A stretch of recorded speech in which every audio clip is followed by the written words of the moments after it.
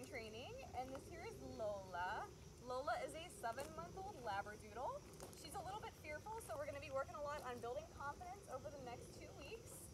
Um, let's go ahead and see what Lola knows now. Lola, come. Good, come. Good girl. Sit. Good. Good sit. Lola, place. Place. Place.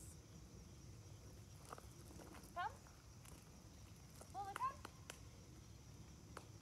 Come. Come. Lola, heel. Heel. Heel.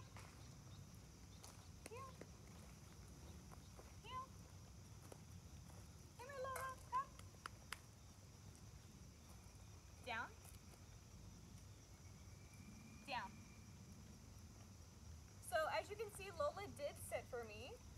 Um, so we're gonna be working a lot on obedience and definitely some confidence building. Uh, be sure to stay tuned and see your progress. Come on, Lola.